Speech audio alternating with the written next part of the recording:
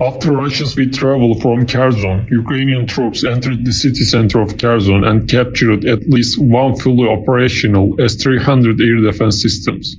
According to the information received from local searches in Kherson, it was stated that it can be found in many systems in vicinity.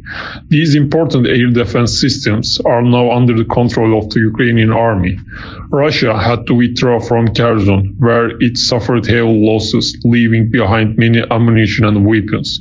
They damaged bridges and infrastructure systems in the areas where they were withdrawn.